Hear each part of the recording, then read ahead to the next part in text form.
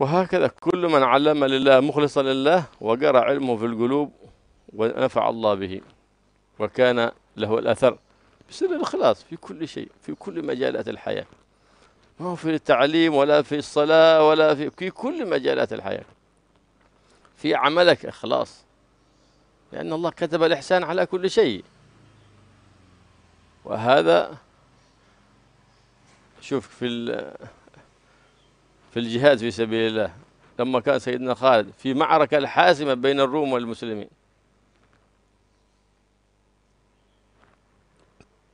كان سيدنا عمر بن الخطاب رأى هذا خالد بن الوليد ما دخل معركة إلا وانتصر فيها. ها؟ ما دخل معركة إلا وانتصر فيها. وما يعلمونهم ما سر انتصار هذا خالد في المعارك هذه كلها.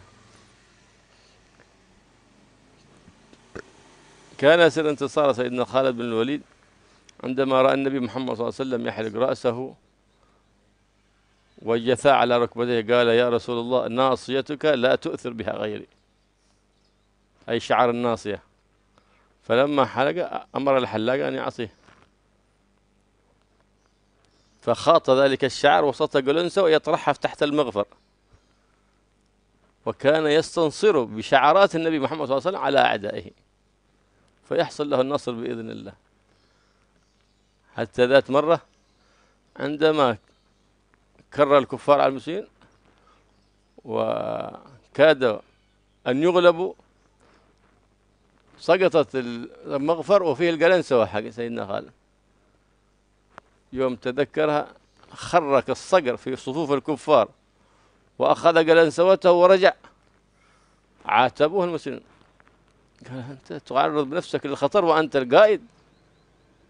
ها؟ قال والله ما هو محبة في هذه القلنسوة لكن بما في هذه القلنسوة خفت أن يطأها قدم كافر من الكفار. وفيها شعارات النبي محمد صلى الله عليه وآله وسلم. شعارات النبي محمد. خفت عليها. أما القلنسوة بدلها ألف قلنسوة إنما خفت على الشعارات.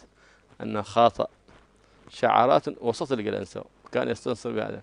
ما دخل معركة إلا ونصره الله بإذن الله. حتى سماه النبي محمد صلى الله عليه وسلم سيف الله المسلول.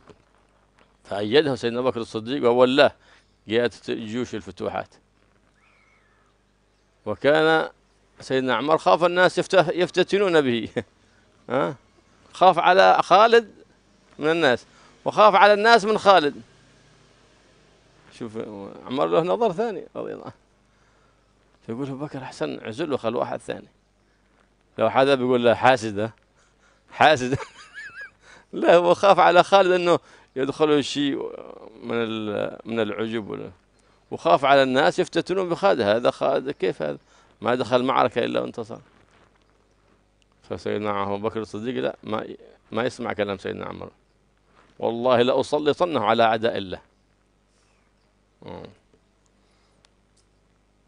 انتقل للرفيق الأعلى سيدنا أبو بكر الصديق وجيوش المسلمين مقابلة للروم. أعداد هائل الروم. آه. مئات الألوف. والمسلمين عدد يسير. لما تولى الخلافة سيدنا عمر أرسل برسالة يأمر سيدنا خالد أن يتنحى عن عن رئاسة الجيش. يلا رجع أنت جندي أنت عسكري. على طول. سيدنا خالد خلع إشارة القيادة ومن ولا سيدنا أمين هذه الأمة أبو عبيدة عامر بن الجراح. وقاتل كجندي من الجنود ما تغير خاطره ولا تقدر وهو واضع الخطة حق القتال. وجاء الخبر وقد اصطف الجيشان. خلاص انت وقتها خلاص. بيصير التمرد ده واحد ثاني. لا كما ذين من قواد الجيش.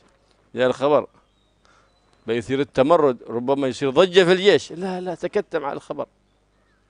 ها وانحاز عن القيادة وصار تابعا لأبي عبيدة.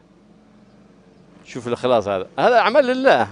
ما قاتلت لأن أكون قائدا ولا قاتلت ولا جاهدت شيء من هذه أمور الدنيا. ولا لمحبة في قلوب الناس ولا لشهرة. فتنحى. فكان له رأي في السياسة في الحرب. هذا سيدنا خالد. وقاتل قتالا شديدا. وهو في جنديته. ما في القيادة. حتى رأى سيدنا عبيدة هذا هو القائد الحقيقي هذا. هذا هو صاحب الحنكة في الحرب هذا. آه. وأعزله سيدنا عمار لحكمة رآها في صالحه. آه. لكن ما يعلم سيدنا عمر أن سيدنا خالد بهذا الإخلاص العظيم حتى أن تنحى عن قيادة الجيش دون أن يتردد ودون أن يتكدر خاطره. إيش هذا؟ أنا القائد الآن أصبح جندي. واستمر في الجهاد وفي الإخلاص والنصح لأبي عبيدة. لما رأى أبا عبيدة هذا كله منه سلمه القيادة. قالوا أنت القائد. فرسل كتابا. سيدنا عمر لأن سيدنا خالد قال هذا عمر هو أعرف مننا بالمصلحة. هو ما ولي أمير المؤمنين ولا خليفة خليفة رسول الله صلى الله عليه وسلم إلا هو أعلم مني بمصلحتي ومصلحة المسلمين. فتنحى. ليه؟ للإخلاص. لا لحظ النفوس. كتب كتاب أبو أبيل.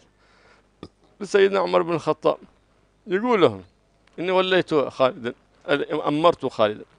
بكى سيدنا عمر. بكى سيدنا عمر. إن خالدا يؤمر يعني فعله يؤمره. خرج وزهد في الرئاسة وفي الإمارة وخرجت من قلبه. مع هذا رجعت إليه. مع هذا رجعت إليه. والله إن لأبي أبو بكر الصديق أعرف بالرجال مني. أعرف بالرجال مني. رضي الله تعالى عنه.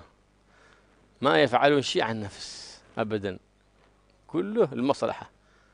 وإخلاص لله سبحانه وتعالى. لهذا ما يتأتى يكون إخلاص مع محبة الرئاسة. ما يتأتى. ما يتأتى يكون إخلاص مع محبة الشهرة. ما يتأتى. ها؟ ما يتأتى أبدا. لهذا قال من؟ سيدنا أيوب السختياني. قال إني أخاف إن الشهرة ما تركت لي شيء من حسناتي. ما دخلت سلمت على حد إلا وقام يسلموا بحرارة. حتى خفت أن هذه الشهرة التي أعطيتها أنت لها لا تبقي شيء من حسناتي. مع هذا قد وطنوا أنفسهم على الخلاص وقد خنس منهم الخناس ويئس منهم مع هذا خائفين على أنفسهم.